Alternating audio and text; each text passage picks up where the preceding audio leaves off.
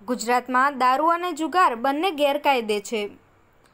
રાજ્યમાં ભાજપની સત્તા છે, રાજ્યના મુખ્યમંત્રી અને ગૃહમંત્રી પણ દારૂબંધી અને જુગારને પ્રવૃત્તિઓ પર અંકુશ મેળવવા કાયદો વધુ કડક બનાવ્યો છે.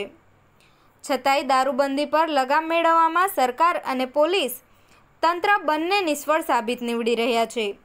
જે સરકાર દારૂબંધી પર લગામ લગાવવાની મસમોટી વાતો કરી રહી છે, તે જ સરકારના ધારાસભ્ય રિસોર્ટમાં બિંદાસ્ત મિત્રો સાથે દારૂની મહેફિલ માનતા પોલીસના હાથે ચડ્યા છે.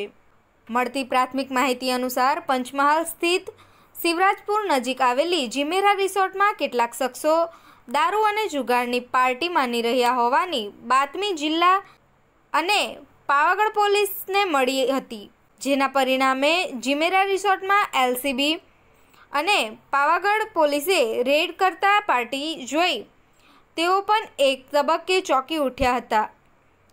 ગુજરાતમાં દારૂ અને જુગાર ગેરકાયદે છે તેવા રાજ્યમાં આટલી મોટી પાર્ટી યોજાયેલી પોલીસ પણ અચંબામાં મુકાઈ હતી.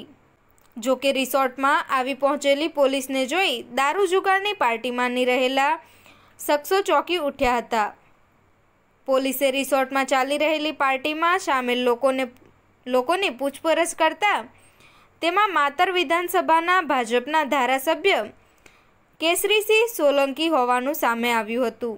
કેસરીસિંહ સોલંકી સહિત એકવીસ લોકોની અટકાયત કરી પોલીસે આ મામલે વધુ કાર્યવાહી હાથ ધરી હોવાનું જાણવા મળી રહ્યું છે.